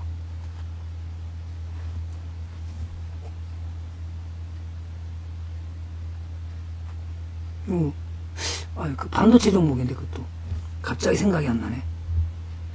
그래가지고 1억을 몰빵했다가 떨어지는 거 보고 바로 잘랐어요. 다행히. 지금 아직 안 가고 있습니다. 그거 왜 믿은 거예요? 그랬더니. 아, 전문가는 100% 아니에요? 이러더라고요. 100%요? 아, 그런 게 어딨어요? 우리 사이트가 아닌 다른 사이트인데. 100%라는 게 어딨어요? 전문가도 틀립니다. 저도 틀리잖아요. 그럼 어떻게 돼요? 확률적으로 이기는 투자를 가야지. 확률적으로 지는 게임을 하면 안 되잖아요. 다리 차고는 제 무료 방송에 꼭꼭 들어왔죠. 자, 제가 벌써 자그마치 8월 17일이면 딱 1년 되는 겁니다. 그래서 투자자들을 정석의 길로 안내하고 있는 겁니다. 잘못된 길지 말고 기업을 분석해서 철저히 돈 버는 기업만 들고 가라. 무슨 일 안 생긴다. 시장이 폭락하거나 말거나 그냥 들고 가라. 1년 회원만 6분 계십니다. 어리석은 투자에서 벗어나기 위해서는 증시 예측이나 종목 추천을 받더라도 시장에서 이길 수 있는 확률이 높은 종목을 연구하고 검증해서 그리고 매수하는 습관을 길러야 되잖아요. 그게 바로 성공 투자로 가는 길 아니에요? 성공 투자는 좋은 습관에서 나오는 거잖아요. 그러니까 꾸준히 좋은 종목을 담고 가만히 있으니까 세상 편할 수밖에 없죠. 그걸 진짜로 시뮬레이션을 보여주니까 더 놀래버리죠. 그럼 내 종목으로 템플턴이 추천한 종목으로 시뮬레이션 하니까 3년 했더니 80%가 나왔어요. 그러면 이제부터 출발하는 종목이 과거로 돌아갔기 때문에 떨어졌잖아요. 그럼 올라갈 땐 무슨 일이 벌어질까요? 그걸 자기가 스스로 시뮬레이션을 해보고 나니까 이 사람이 깜짝 놀라는 겁니다. 본인도 놀라는 거예요. 우리 엑셀을 잘 다루시는 분이 세 분이 있어요. 한 분은 워낙 잘해서 제가 아이디어만 내면 그냥 만들어 주신 분 한 분 있고 한 분은 바쁘시니까 잘 못 들어오십니다. 그분도 1년 회원이신데 자기 스스로 해보고도 자기가 돌을 닦은 느낌이 들고 천기누소를 배웠다고 너무 감사하다고 가치투자님 어서 오세요. 가치투자님 못 봤죠? 시뮬레이션 수익이 더 났으니 어떻게 해? 가치투자님 유진테크 신고가로 날아가는데 꼭 들고 있죠? 예. 그래서 투자는 인간의 인간의 오류에 투자하는 것이다. 잘 들으시죠? 이번에. 이게 아마 어찌 보면 조지 소로스의 원칙하고도 똑같겠죠. 시장의 효율적 가설은 인간의 합리성을 전제로 한 겁니다. 인간을 합리적으로 생각한다는 거, 이 경제학의 기본도 그렇습니다. 고전 경제학의 기초가 뭐예요? 인간의 이성적이고 합리적인 인간을 전제로 했기 때문에 틀렸다는 겁니다. 인간은 언제나 비합리적이잖아요. 비이성적인 감정이 좌우되는 것이 인간입니다. 그럼에도 불구하고 그걸 무시하고 인간은 합리성을 가지고 있고 뭐죠? 이성적인 전제로다가 이론을 만들어 놓고 다 이것이 옳으니까 시장의 효율적 가설 때문에 너는 주식 투자해서 돈을 벌 수 없어. 그리고 이걸 대학에서 강의하는 겁니다. 그런데 어떻게 해요? 요즘에 주로 나오는 게 뭐죠? 심리학에서 행동경제학에서 나오는 게 뭐죠? 인간은 비이성적인 감정에 의해서 올라가는 종목은 더 올라갈 거라고 생각하고 내려갈 종목은 더 떨어질 거라서 사람이 그렇게 행동하더라. 사실상 세상에서 주식시장에서 내가 배운 지식과 실제 행동은 다르더라. 그게 조지 소로스 얘기잖아요. 그러니까 그 갭이 차이면 우리는 돈이 보이더라. 그거를 잘 찾아가는 사람은 돈을 벌더라. 그러니까 거기서 기회를 보고 돈 벌 가능성을 생각해야 되는데 그런 생각을 안 하고 자꾸 이상한 이론 갖다 들이대고 그 이론 다 쓰레기 이론이에요. 주식을 골라서 매수할 때는 기업이 끊임없이 돈을 벌고 있다라는 건 뭐요? 기업의 가치가 커지는 거잖아요. 그러면 기업의 가치가 커지면 주가는 기업의 가치보다 싸다 그러면 반드시 기업의 가치보다 넘어설 가능성이 높으니까 우리는 미리 투자해 놓고 가만히 있는 겁니다. 그게 뭐예요? 버블이 날 때까지 가만히 들고 가는 거잖아요. 그죠? 가치 투자님 사놓고 지금 뭐 건드렸어요? 유진테크 사놓고 뻥뻥 날아가니까 지금 이제 어 벌써 70%가 넘었습니다. 어 배당까지 받았습니다. 뭔 일이에요? 80%도 넘었습니다. 그게 뭐요? 투자하고 가만히 있는 거잖아요.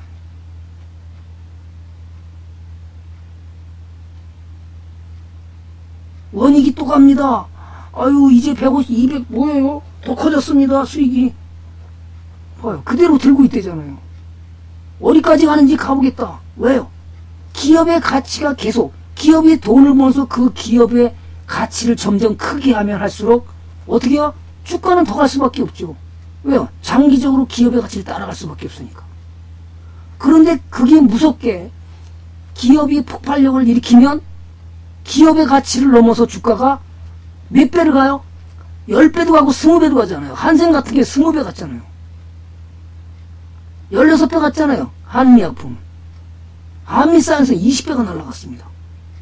그렇게 안 가더라도 저평가 종목을 매수했다면 5배만 가면 안 되냐? 그런 자신감을 갖고 매수하면 돈이 보이더라. 주식을 매수할 때 그래서 가치와 가격의 괴리가 크면 클수록 투자가 유리한 것은 말할 것도 없죠. 그러면 가치가 저평가되면 우리는 주식을 매수하고 기다리고 기다리고 또 기다리면 되더라. 어 너무 쉽습니다.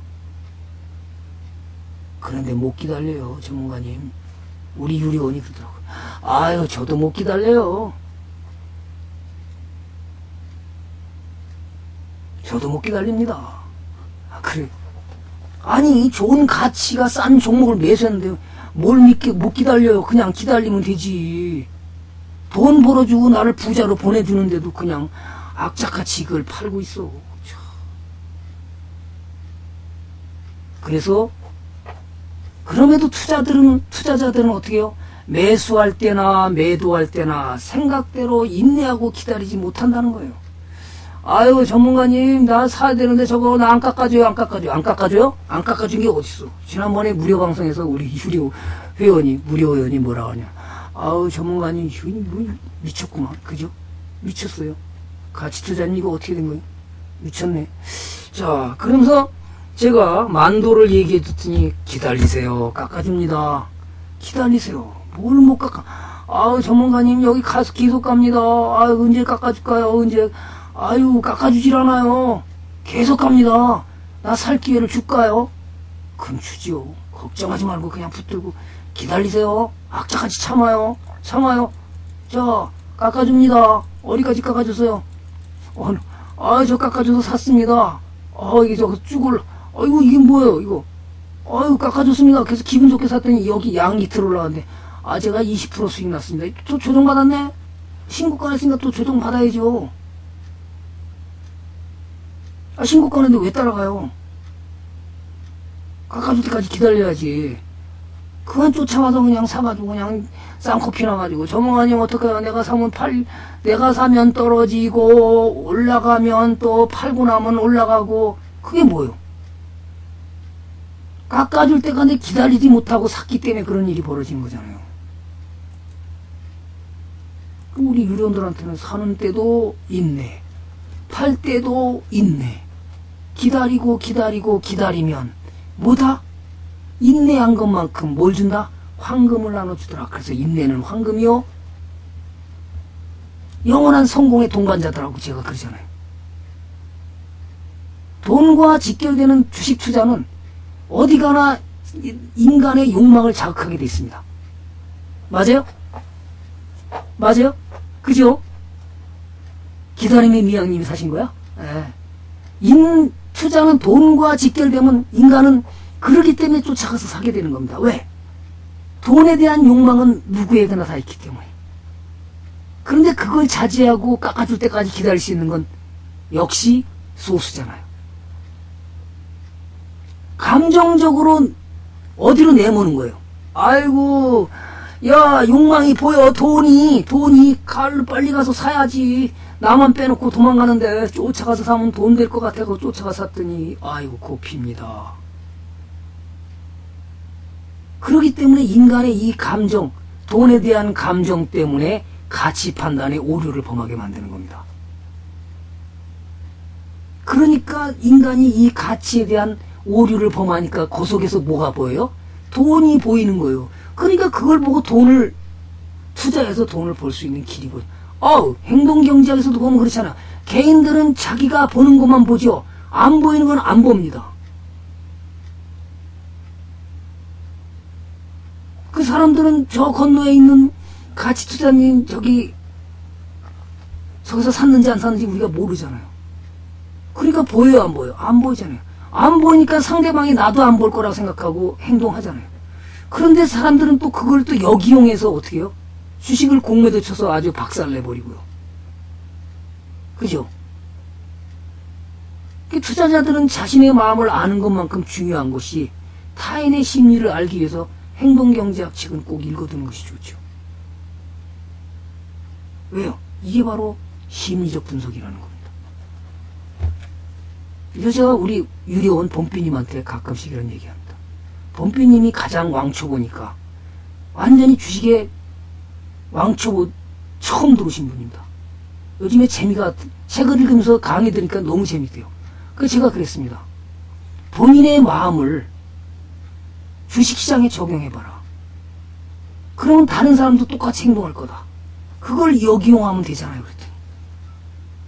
맞아요. 아, 그걸 몰랐어요. 내 마음이 상대방 마음일 테니까 왕초보들 마음하고 내 마음은 똑같을 테니까 내가 하는 행동을 내가 뒤집어서 행동하면 되지 않냐. 그랬더니 와, 그 생각을 못했네요. 맞아요? 너무 쉽죠? 네. 또 갑니다. 온갖 투자에 다 끼지 말라. 아유, 나는 잘 아는 분야에. 그래요? 자, 오늘부터 슈퍼마켓에 달려가겠습니다. 어떻게 죠? 아, 슈퍼마켓 달려가서 좋은 종목 사는 거지, 뭐. 가만히 있어봐. 아, 점원한테 이거 잘 팔립니까? 얼마나 팔려요? 아, 요즘 뭐 없어서 못 팝니다. 날개도 찐 팔려요. 아, 그래요? 이야, 그럼 나도 하나 사볼까? 그런 거 사지 마세요. 왜요? 정보를 받았잖아요. 그럼 가서 기업을 분석해 봐야지. 좋은 기업인가? 돈을 잘 벌겨? 저게 얼마 팔릴지? 아, 내가 안 사도 되는 걸 뭐죠? 제가 그랬잖아요. 돈을 절약하는 최고의 방법을 알려줬잖아요.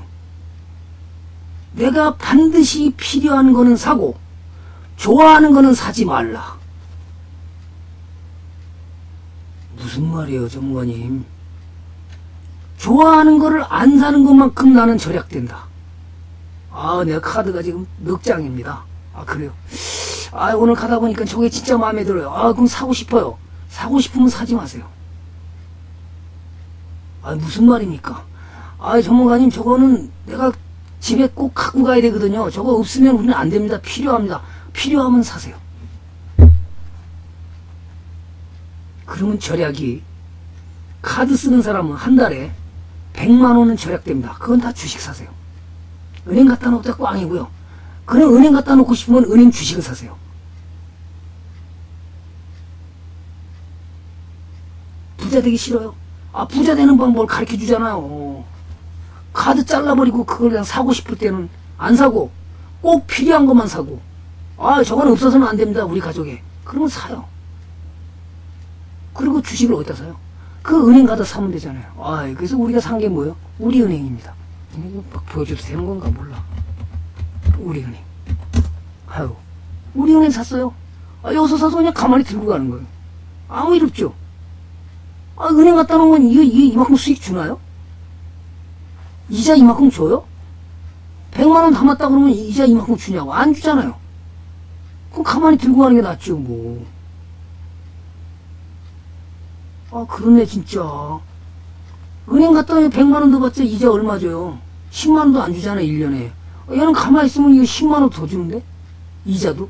배당까지 주니까 뭐, 이거 복리잖아요. 와, 그런 거 사지 뭘, 야, 그냥 뭐, 왜 가서 그냥 돈 갖다 줘요? 그래서 절약하는 방법은 간단하다. 필요하면 사고, 좋아하면 사지 마라. 인간은 이성보다는 감정이 앞서는 동물이고 분해에서 감정이 작동하는 방식이 자동적이고 즉각적이다. 그죠? 맞아요? 그러니까 오늘 가다가 어우 저거 마음에 들어 저거 진짜 내가 좋아해 저거 내가 사야지 사면 뭐요? 집에 와서 아유 아 그러니까 그냥 런닝머신 사다가 그냥 하겠다고 운동하겠다고 큰 욕심을 내서 60만 원 주고 할부로 샀더니 세상에 일주일 동안 열심히 합니다. 그 일주일 딱 지나면 슬슬 깨가 납니다. 안 합니다. 그 다음에 나중에 뭐야? 아이고 빨래는 빨래거리로 담냈대. 아이고 진짜.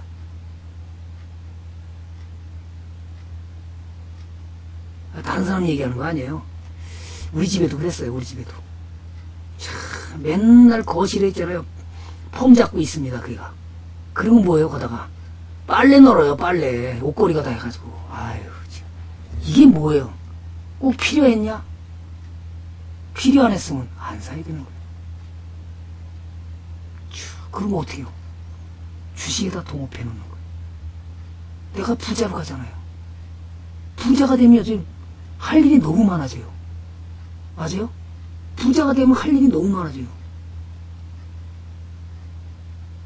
불쌍한 사람도 막 도와줄 수도 있고. 그죠? 할 일이 너무 많아지니까 꼭 우리 회원님들은 전부 부자 되야 됩니다. 부자 되지 말라고 그러는 사람 있으면 그냥 쫓아가서 그냥 군밤한 듯이 주세요. 담배가 해로운 것을 아는 사람들은 극소수만이 금연에 성공하는 이유가 뭐죠?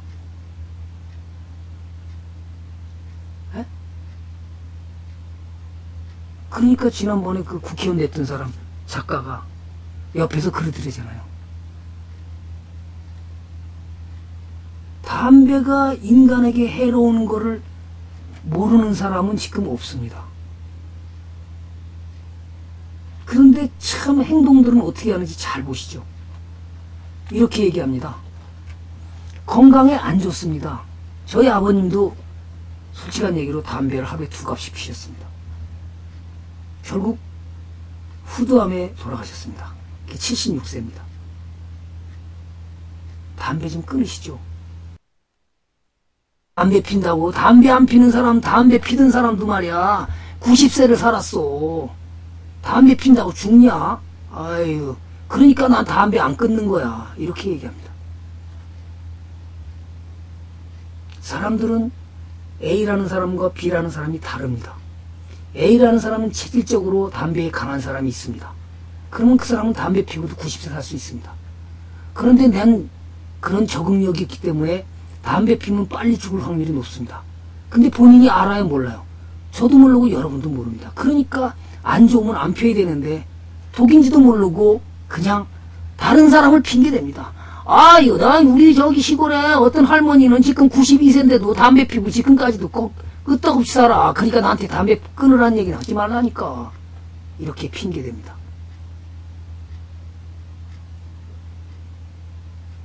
그러면 똑같이 주식 투자를 하는데 그죠?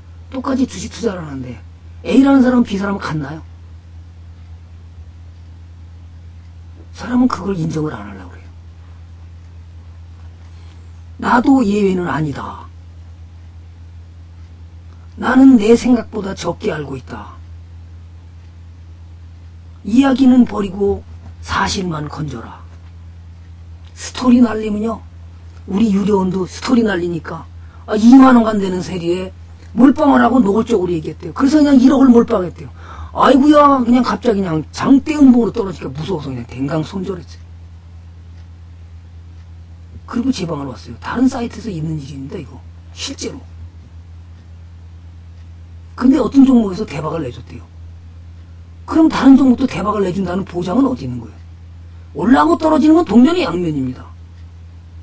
그런데도 그걸 믿고 그 그 종목을 보여주고 300% 났느니 그걸 보고서 야 그럼 내가 1억을 못 파고 300%는 뭐에 3억이 되는 거 아니야 그래서 몰빵한 겁니다 갔나요? 안 갔죠 당연히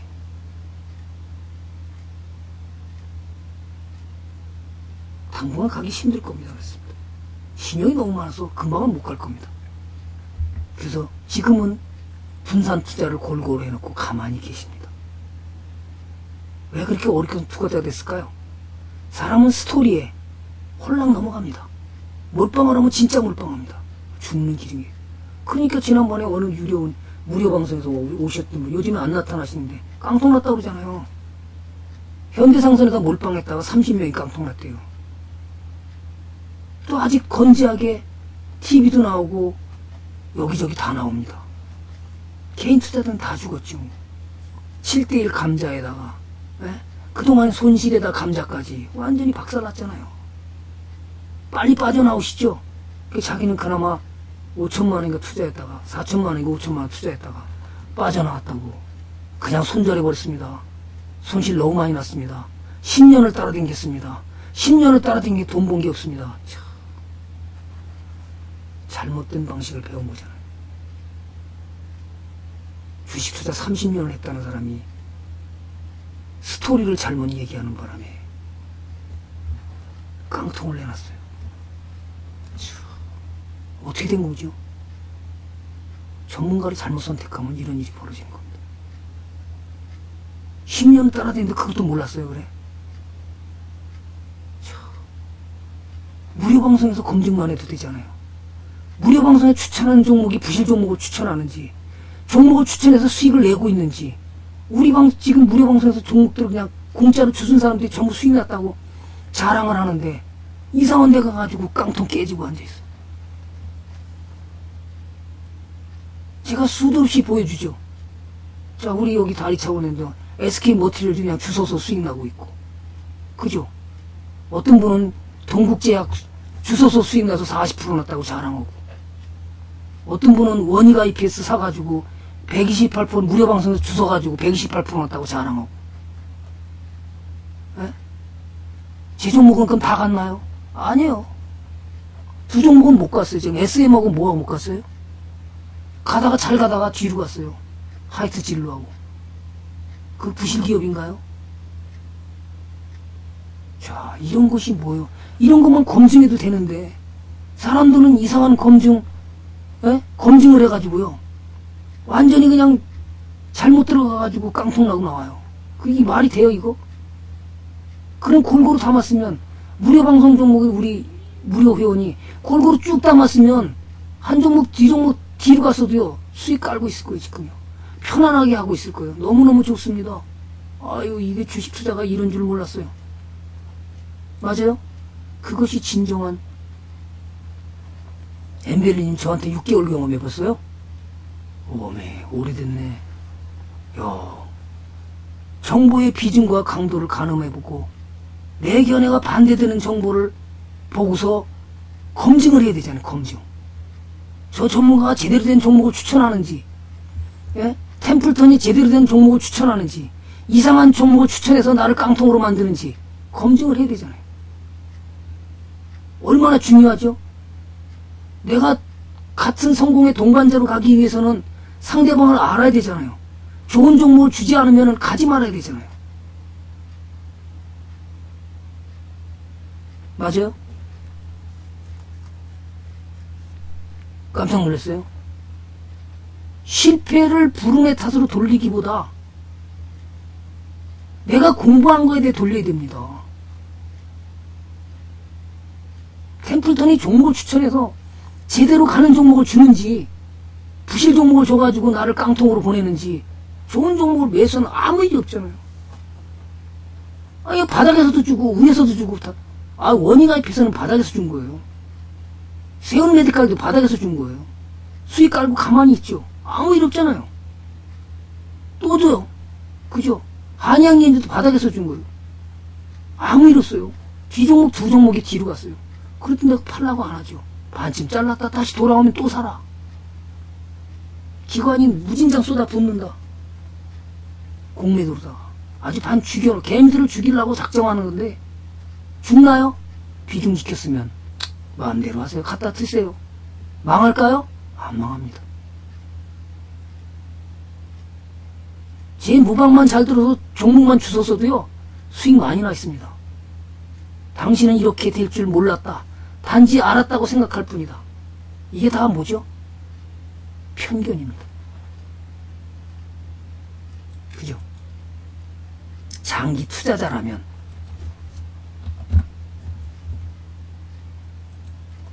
포트를 한 달에 한 번 정도만 꾸준히 검증하면 됩니다.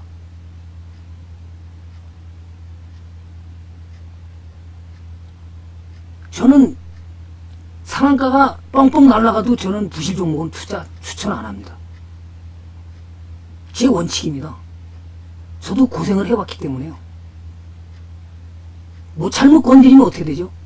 대박을 낼 수 있지만 잘못 건드리면 그 때문에 돈을 잃어버려요. 그러니까 못 사게 하는 거예요.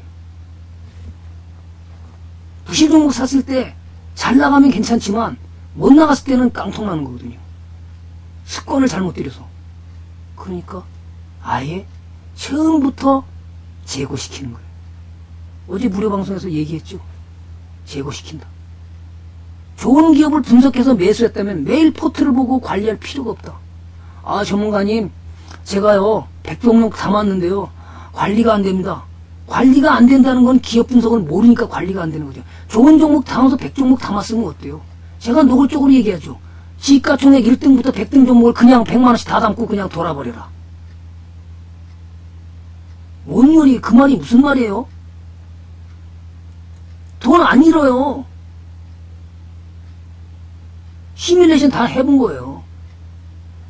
깜짝 놀랄 일이에요. 최소한 돈은 안 까먹어. 시장이 상승하면 돈 벌어. 많이는 못 벌어도. 에? 아, 그런 일이 있어요? 더 무서운 시뮬레이션을 갖고 있는데요. 하나 보여줘도 되겠다. 1등부터 100등까지 100만원씩 다 담아봤습니다. 어떤 일이 벌어지나.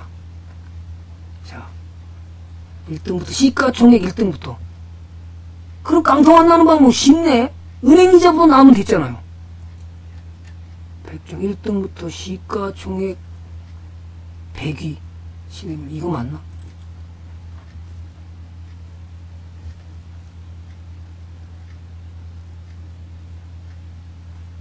왔네.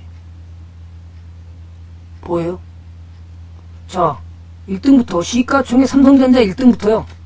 몽창 다 담았습니다. 삼성전자 1등부터 2011년부터 시작해서 지금까지 1년, 2년, 3년, 4년, 5년, 6년 반 동안 6년까지 그냥 들고 왔습니다. 그랬는데 뭐니 똑같이 100만 원씩 샀습니다. 100만 원, 100만 원, 100만 원, 100만 원, 100만 원 샀습니다. 자, 보시죠. 2011년에 1억을 투자했습니다. 9,400 줄었습니다. 1억 450입니다. 1억 122만 원입니다. 9,487 납니다. 다시 1억 429만 원입니다. 이뤄야 안 이뤄요? 그래서 시뮬레이션을 우상주로 했더니 무서운 일이 벌어져요. 우상주. 무슨 말이에요?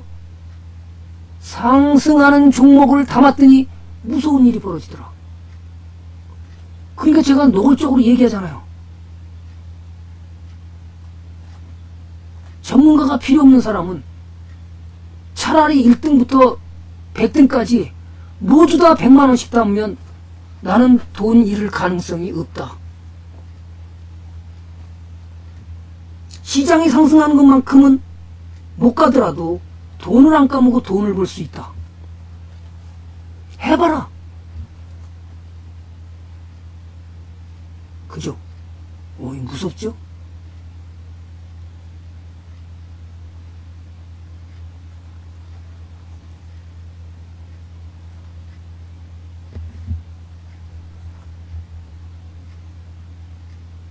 백등까지만 해본 겁니다. 2011년에 백등까지 종목을 한번 다 담아본 겁니다. 자, 그럼에도 불구하고 사람들은 자주 현재가를 쳐보고 포트를 들여보다 보는 순간 좋은 기업은 보이지 않고 손실난 종목만 쳐다보이는 겁니다. 그 종목은 만지작거리죠. 만지작거리다 보면 뭐예요? 수익을 평준화시키는 겁니다. 수익난 종목은 조정 들어오면 잘라버리고 내려가는 종목은 물타기 하고 그러니까 유료방송 듣고도 돈이 수익이 안 나서 아우 제가 돈 버는 것도 없고 까먹었던 것도 없습니다. 아니 그거 어떻게 된 거예요? 그랬더니 아 올라가는 종목 60% 올라갔다 30% 조정 나오면 다 까먹을까 봐 얼른 잘라버렸고요. 내려가는 종목은 또 아까우니까 본전 찾으려고 얼른 물타기 했고요. 참, 돈 버는 게 없습니다. 제가 1억 3천 투자자거든요. 어느 연세 드신 분이 얘기하는 얘기입니다. 실제 있던 얘기입니다. 종목은 조정하면 반드시 업종 사이클이 변하면서 순환매가 돌아오기 때문입니다. 순환매가 돌아오니까 무서운 일이 벌어지는 겁니다. 자, 작년 12월에 제가 얘기한 것도 순환매가 돌아오는 걸 알고 이제 반도체를 사라고 얘기했던 겁니다. 더더욱 기름에 불을 붙인 게 누구예요? 기름, 무려 불 붙는 데다 기름을 분 사람이 누구예요? 몰라요? 뉴스들 안 읽나요? 중국이잖아요, 중국. 중국이죠. 삼성도 있지만 중국이잖아요. 중국이 SK 하이닉스에다 손 내밀었었잖아요. 주식을 20%가 사줄 테니까 동업자 정신으로 같이 동업하자. 야, 우리가 잘 나가고 니네하고 동업할 이유가 뭐가 있냐? 기술 빼가려고? 안 했잖아요, 거부. 그리고 자기네들이 얼마 투자해요? 40조인가요? 기업의 쌀을 만들기 위해서 왕창 투자했다고 중소기업들은 신난 거죠. 수출하는 기업들은 신난 거예요. 자, 이걸 보고 우리는 매수하는 거잖아요. 야, 좋은 일 봐. 그런 것까지 제가 얘기해 드릴 수는 해주진 않죠. 유료 방송이라 얘기하는 거지만 무료 방송에서는 그냥 추천 주니까 사봐라. 좋은 일이 벌어질 거다. 자, 그 다음에 벌써 10시 54분이 됐네. 다 못하겠고, 이거는 나중에 하기로 하고요. 자, 그러면 오늘, 오늘의 격언을 한번 얘기하면서 종목 진단 가야 될 것 같네. 그죠? 버블기의 투자에 대해서 얘기하려고 했는데, 네, 그렇죠. 그래서 지난번에 그, 무슨 종목 하나 중소기업 하나 인수해 있죠? 그, 어, 피델릭스인가요? 예, 그 중국 기업입니다. 그 반도체 업종인데요. 자, 오늘의 기업은 수익을 올릴 확률이 큰 기회가 올 때까지 기다려라. 치타가 초원에서 사냥감을 잡을 때 뭐 하죠? 풀숲에 숨어서 기회가 올 때까지 일주일이고 뭐고 넘게 기다립니다. 맞아요? 그래서 우리 유료, 유료든 무료든 매수할 때도 악착같이 기다려라. 그런데 감은 어떻게 해요? 아, 그냥 가잖아요. 감은 어떻게 해요? 우리 유료원이 그럽니다. 감은 어떻게 해요? 감은 어떡하냐고요? 버스 지나가는데 손 들면 뭐 할 거예요? 그러면 그거는 안녕해야죠. 그럼 이제부터는 뭐예요? 리무진이 올 걸 대비해서 리무진을 기다리면 되잖아요. 버스가 지나갔다. 리무진이 온다. 아, 그렇게 기다리면 되는데, 그놈의 버스 쫓아가려고 그냥, 그냥 가서 쫓아가서 사니까 쌍코피. 사냥감을 확실히 잡을 때까지는 기다리다는 사실에 주목하라. 주식 투자도 이와 같이 매수할 때도 기다려서 사고, 매도할 때도 기다리고 파는 방법이 가능해야 된다. 그러니까 주식 투자는 기다림의 미학이라고 그러잖아요. 우리 기다림의 있잖아요. 특히 돈을 잃은 뒤 이를 복수하려는 마음이 앞서면 매매는 반드시 실패한다. 다 잊어버려라. 제가 우리 유리원한테 그랬습니다. 어느 분입니다. 친구한테 5천만 원 대신 투자해준다고 5천만 원 가져갔대요. 친구가 다 날리고 연락도 끊고 도망갔습니다.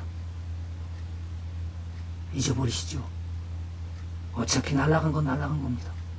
이제부터가 중요합니다. 그랬더니 자꾸만 불뚝불뚝 생각이 나는데 그래도 어떻게 해요? 잊어버리시 잊어버려야 투자가 좋아지는 길이 보입니다. 맞아요. 용서를 하시기 바랍니다. 용서를 하는 수밖에 없습니다. 용서를 해야 잊어버리십니다. 용서를 안 하면 잊어버리지 절대 않습니다. 이게 바로 우리 투자자가 해야 될 일입니다. 자, 그러면